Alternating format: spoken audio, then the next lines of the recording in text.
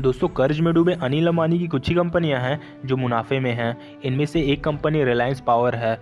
अब रिलायंस पावर ने एक ऐसा ही फैसला लिया है, जिससे अनिल अंबानी ग्रुप की 1500 करोड़ रुपए का खर्च कम होगा। दोस्तों रिलायंस पावर ने आंध्र प्रदेश में अपनी स्मॉल कोड प्रोजेक्ट से पावर डिवाइस का निर्यात बांग्लादेश प्रोजेक्ट के लिए शुरू कर दिया है। इससे कंपनी को अपने कर्ज के बोझ को करीब 1500 करोड़ रुपए कम करने में मदद मिलेगी। रिलायंस पावर ने बांग्लादेश प्रोजेक्ट को गैस आधारित बिजली उपकरण का मॉड्यूल वन बेचा है। इसकी क्षमता 750 मेगावाट की है।